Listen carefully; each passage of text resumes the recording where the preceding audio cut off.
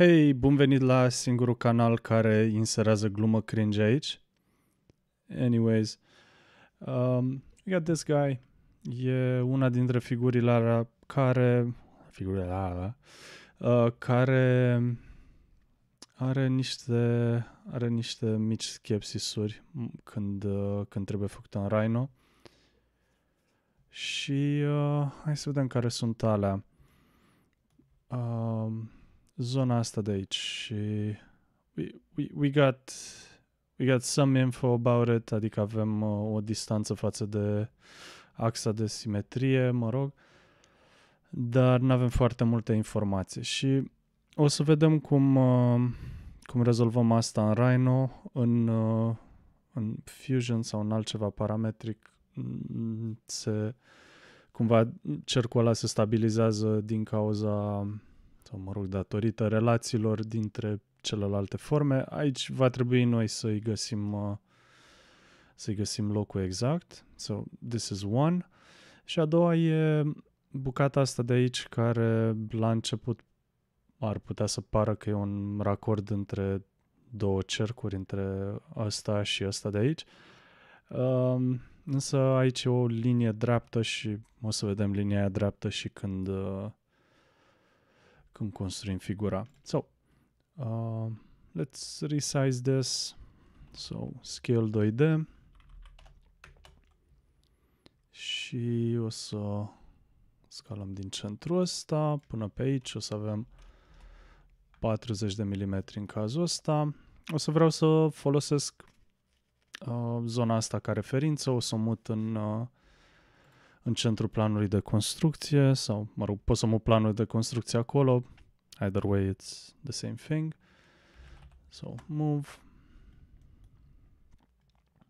Cam de aici în 0. Change to this și din uh, properties, material. Okay little hiccup, I guess. Ok, um, să mă mut pe layerul ăsta. Hai să începem cu lucrurile care sunt ușor de desenat. Deci avem un cerc din 0, diametru de 80 și maybe change the color. Ok. Spacebar pentru a rula ultima comandă, din nou un cerc din 0, 110 diametru de data asta. Avem uh, cercurile astea 3 sau un circle și o să folosesc quad snapping și aici avem uh, 20 diametru și încă unul tot de acolo cu rază de data asta de 20. Uh, asta pot să le rotez sau pot să le dau un uh, polar array sau array polar din 0. Avem nevoie de 3, 360 și we can just accept that. Ok. Um, acum o să mut planul de construcție aici. I can also draw a line ca să o folosesc ca referință, deci pot să fac și o linie. E mi-e mai simplu să mut planul de construcție. So, C-plane și o să-l mut la 0 cu minus 120, că ne mișcăm în jos față de 0 de aici. Ok, și avem un, uh, un pătrat cu latura de 50 și cu colțuri rotunjite cu rază de 10. So, rectangle din 0 uh, nu, rectangle și vreau să fie center din 0 și vreau să fie și rounded. So, 50 pe 50 și la roundness o să dau 10. Ok? Și asta trebuie rotit cu 45 de grade. Pot să folosesc comanda rotate din 0, 45 de grade. Ok. Uh, ce mai avem aici? Mai avem uh, distanța asta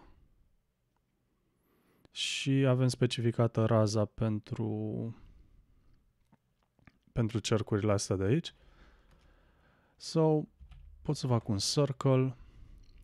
Uh, nu vreau să fie din centru, vreau să fie uh, cu două puncte și uh, diametrul va începe la uh, 70 cu 0, pentru că aici avem originea în momentul ăsta, mă mut jumătate din distanța asta, 70 și pe vertical nu mă mut, deci 0 și diametrul o să fie de uh, 50 și o să țin apăsat Shift ca să-l, uh, să-l desenez în, cu diametru uh, coincident cu axa OX.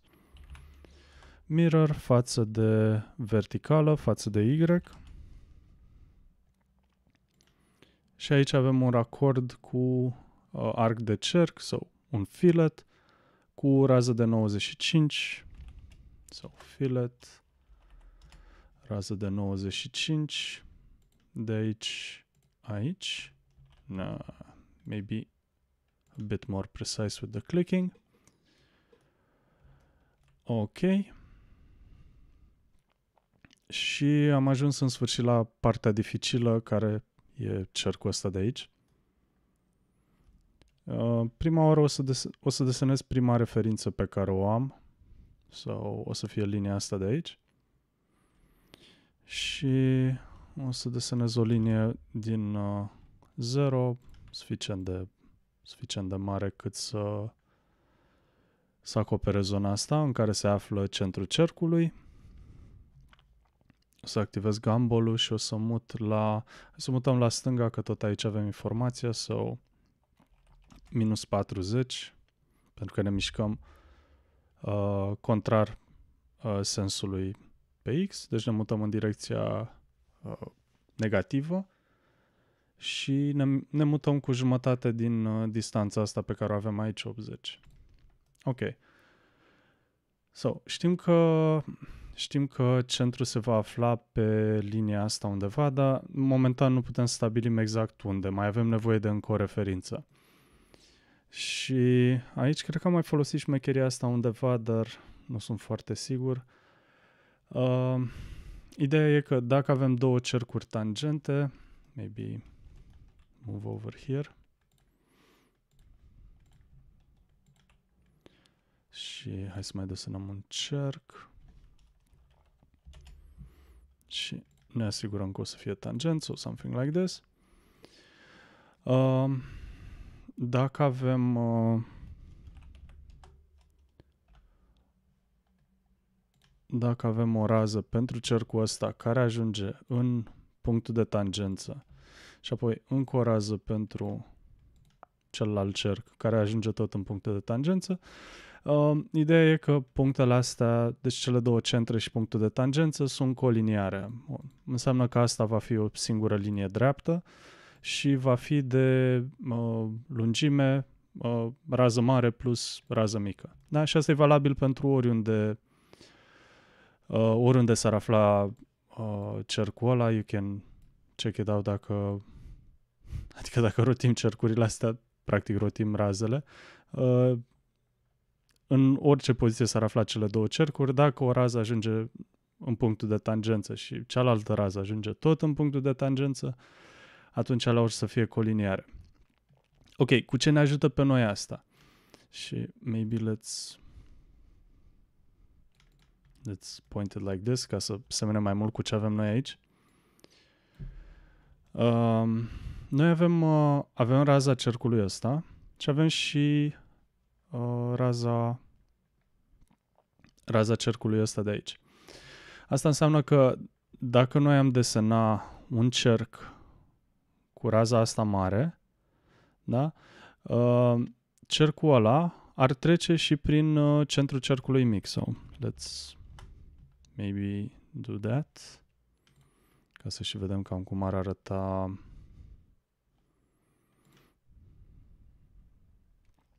uh, I wanted de data asta de aici și maybe So, dacă am creat cercul ăsta, da, cu rază R mare plus R mic, el ar trece și prin, uh, prin centrul cercului mic sau ar trece prin centrul ăsta. Noi avem deja o linie care trece prin centrul cercului ăsta, so we have a line over here.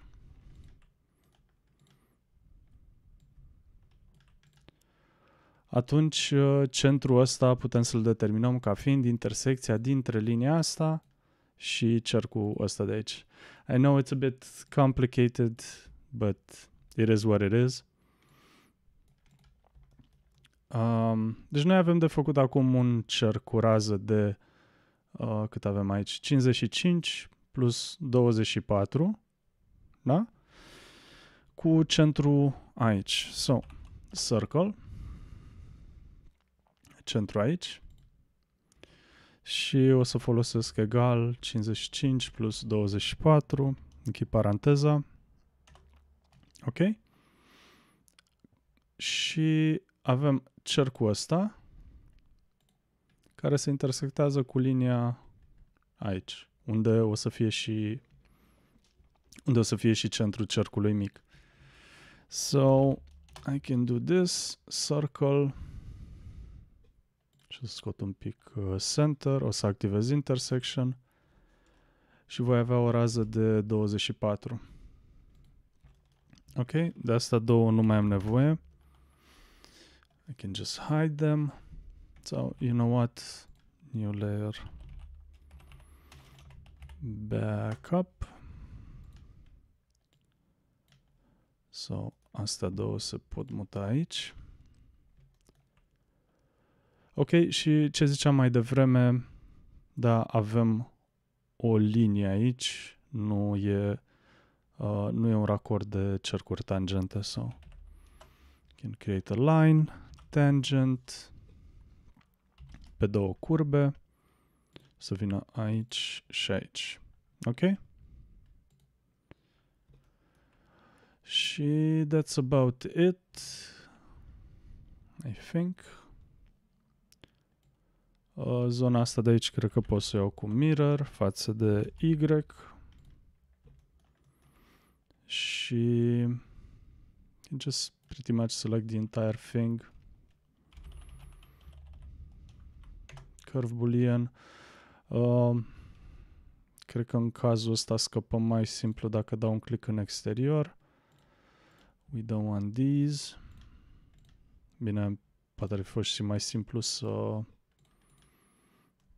nu selectez toate curbele, but it is what it is. So, this should be it. Um, I'll just... Mă gândeam dacă să șterg curbele. Uh, da, o să lăsăm liniile de construcție, ok? Uh, o să-i dau doar grup și o să-i dau loc ca să nu selectăm. Tot ce tot ce am folosit se poate duce pe layerul de backup și pot să dau unlock la ce avem aici. And this is it. Verificăm dacă e dacă e o curbă închisă. So, it is, it is. Și asta se poate folosi mai departe la un uh, extrude, de exemplu. I don't know, 10-ish. Un extrude aș fi vrut să fie și solid.